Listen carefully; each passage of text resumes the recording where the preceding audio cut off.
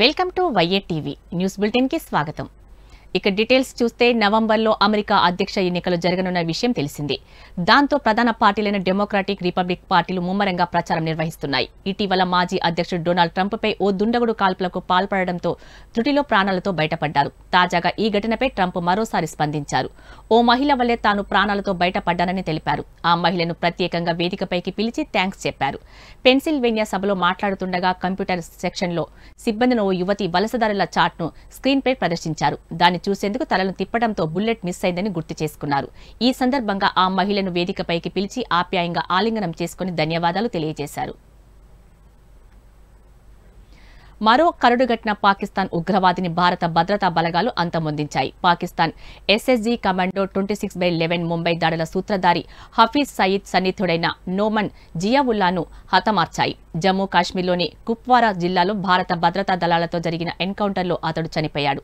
July ఇరవై ఏడున మచిల్ ప్రాంతంలో భారత భూభాగంలోకి చొరబడేందుకు ప్రయత్నించగా బలగాలు కాల్చి చంపేశాయి.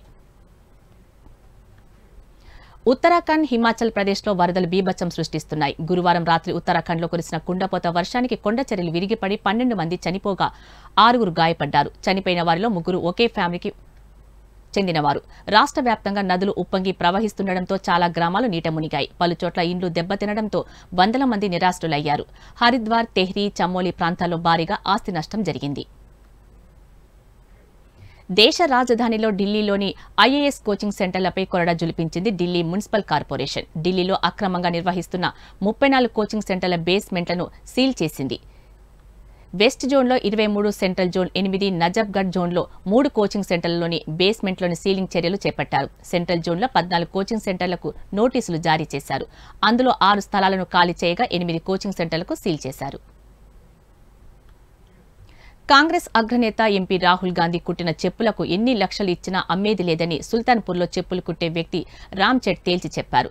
ఇటీవల ఓ కేసు విషయంలో ఉత్తరప్రదేశ్లోని సుల్తాన్పూర్ కోర్టుకు హాజరైన రాహుల్ అక్కడే ఉన్న ఓ చెప్పుల దుకాణానికి వెళ్ళి స్లిప్పర్స్ను కుట్టాడు. ఇప్పుడు ఆ స్లిప్పర్స్కు ఫుల్ డిమాండ్ ఏర్పడింది. దీనిపై రామ్ చెట్ స్పందిస్తూ రాహుల్ గాంధీ నా దుకాణానికి వచ్చి వెళ్ళినప్పటి నుండి ఉత్తరప్రదేశ్ ప్రభుత్వ అధికారులు వచ్చి నా సమస్యలు తెలుసుకుంటున్నారు. అంతేకాకుండా రాహుల్ కుట్టిన చెప్పులను మేము కొంటామంటూ ప్రతిరోజు నాకు ఫోన్ కాల్స్ వస్తున్నాయి. ఒక వ్యక్తి ఫోన్ చేసి ఐదు లక్షలు ఇస్తామన్నారు. చెప్పులు ఇవ్వాలని అడిగారు. నేను కుదరదని చెప్పాను. ఇప్పుడు అతను పది లక్షలు ఇస్తానన్నాడు. నేను ఇవ్వను అని చెప్పాను. వీటికి గాజు ఫ్రేమ్ కట్టించి నా షాప్లో పెట్టుకుంటాను అని చెప్పాడు. ప్రజా గాయకుడు గద్దర్ ప్రథమ వర్ధంతిని ఈ నెల ఆరున మధ్యాహ్నం రెండు గంటల నుండి రాత్రి తొమ్మిది గంటల వరకు రవీంద్ర భారతిలో నిర్వహిస్తున్నట్లు గద్దర్ ఫౌండేషన్ తెలిపింది. గురువారం సోమాజిగూడ ప్రెస్ క్లబ్లో నిర్వహించిన సమావేశంలో ప్రెస్ అకాడమీ మాజీ చైర్మన్ అల్లం నారాయణ పాల్గొని మాట్లాడుతూ కవులు కళాకారులు గద్దర్ అభిమానులంతా పాల్గొనాలని కోరారు. తెలుగుదేశం పార్టీ ఉండి ఎమ్మెల్యే రఘురామకృష్ణరాజుకు తెలంగాణ హైకోర్టులో ఊరట లభించింది.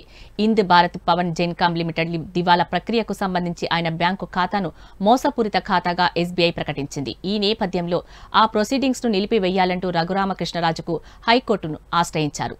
నిన్న ఈ పిటిషన్ను విచారించిన justice CV Bhaskar Reddy SBI జారీ చేసిన ప్రొసీడింగ్స్ అమలు నిలిపివేస్తూ మధ్యంతర ఉత్తర్వులు జారీ చేశారు.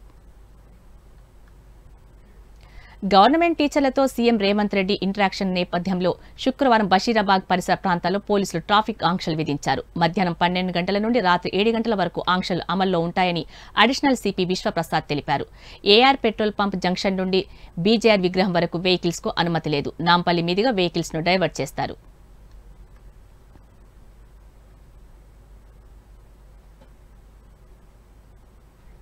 బోనాల ఉత్సవాల్లో భాగంగా గోల్కొండ కోటలోని జి- శ్రీ జగదాంబిక మహంకాళి అమ్మవారికి గురువారం ఎనిమిదవ పూజను ఘనంగా నిర్వహించారు. బోనాలు తొట్టెలతో అధిక సంఖ్యలో తరలివచ్చిన భక్తులు అమ్మవారికి సమర్పించి మొక్కులు తీర్చుకున్నారు.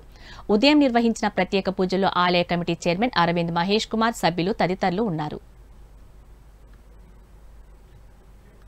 ప్రపంచంలోని ఇతర దేశాలలో ఉన్న ప్రతికూల వాతావరణం మధ్య ఇండియన్ స్టాక్ మార్కెట్ శుక్రవారం నష్టాలతో ప్రారంభమైంది. సెన్సెక్స్ ఆరు వందల ఇరవై మూడు పాయింట్లు నష్టపోయి ఎనభై ఒక్క వేల రెండు వందల నలభై నాలుగు వద్ద కొనసాగుతుంది. నిఫ్టీ నూట ఎనభై తొమ్మిది పాయింట్లు కోల్పోయి ఇరవై నాలుగు వేల ఎనిమిది వందల ఇరవై ఒకటి వద్ద ట్రేడ్ అవుతుంది. డాలర్తో పోలిస్తే రూపాయి మారకం విలువ ఎనభై మూడు పాయింట్ ఏడు మూడు వద్ద ప్రారంభమైంది. పన్నులు చెల్లించలేదనే కారణంగా ఇన్ఫోసిస్ కంపెనీకి జీఎస్టీ అధికారులు ప్రీ షోకాజ్ నోటీసు జారీ చేశారు. రెండు వేల పదిహేడు జులై నుండి రెండు వేల ఇరవై రెండు మార్చి వరకు ముప్పై రెండు వేల నాలుగు వందల మూడు కోట్ల రూపాయలకు జీఎస్టీ చెల్లింపు చేయలేదని ఈ ప్రీ షోకాజ్ నోటీస్ సారాంశం. ఇన్ఫోసిస్కు షోకాజ్ నోటీస్ జారీ చేసిన అధికారులు మరిన్ని టెక్ కంపెనీలకు రాబోయే రోజుల్లో ఇలాంటి నోటీసులు జారీ చేసే అవకాశం ఉందని సమాచారం. తమ విదేశీ కార్యాలయాల సేవలపై పన్నును ఎగవేసిన ఆరోపణలపై తదుపరి పరిశీలనలో నో- నోటీసులు జారీ చేసే అవకాశం ఉంది. శివం బజే చిత్రంతో గురువారం ప్రేక్షకుల ముందుకొచ్చిన అశ్విన్ బాబు ప్రస్తుతం మరో ఎగ్జైటింగ్ ప్రాజెక్టులో నటిస్తున్నాడు. మెడికో థ్రిల్లర్గా రూపొందుతున్న ఈ చిత్రానికి మామిడాల ఎంఆర్ కృష్ణ దర్శకత్వం వహిస్తున్నాడు. అరుణశ్రీ ఎంటర్టైన్మెంట్స్ బ్యానర్పై టి గణపతి రెడ్డి నిర్మిస్తున్నారు. గురువారం అశ్విన్ బాబు పుట్టినరోజు సందర్భంగా బర్త్డే విషెస్ తెలియజేస్తూ స్పెషల్ పోస్టును రిలీజ్ చేశారు. టీ ట్వంటీ సిరీస్ను వైట్ వాష్ చేసిన టీమిండియా శ్రీలంకతో వన్డే సిరీస్కు రెడీ అయింది.